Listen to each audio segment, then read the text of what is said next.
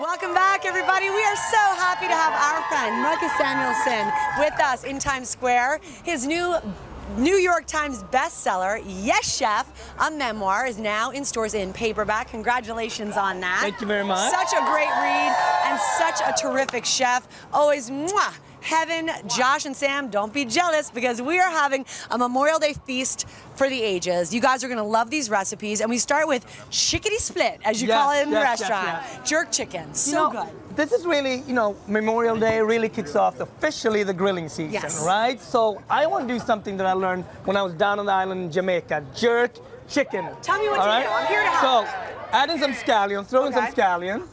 Psh. All right, Psh, exactly. We're gonna do the sound effect. Then you can add in a little bit of the cinnamon, just like All of it? No, not all of it, just Oh, a little okay. bit. See, So that's jerk my chick- problem. Jerk chicken has a lot of All of spices. this? Yes, add it in. Add all the garlic. A little bit of the chilies. And these are spicy. These are spicy. Ooh, Be that's a careful. lot. What about this? Perfect. Add it in. What is it? This is a little bit of cardamom. Uh. You just throw that in. Okay.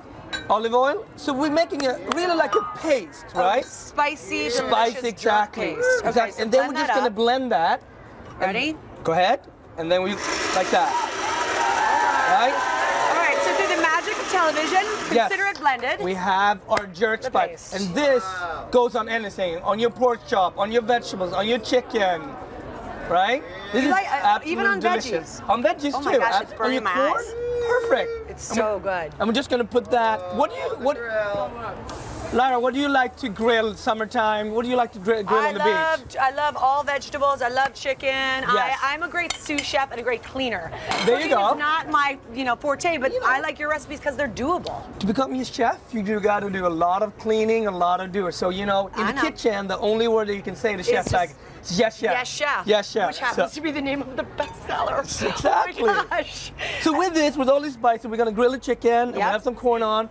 With this, we need something to set it off like that is not so spicy. So we're Which gonna is- do a slaw, which is oh. with celery Yep. and apples, a little bit of mayo. We're just gonna add in Cabbage. some cabbage and also a little bit of nuts for crunch.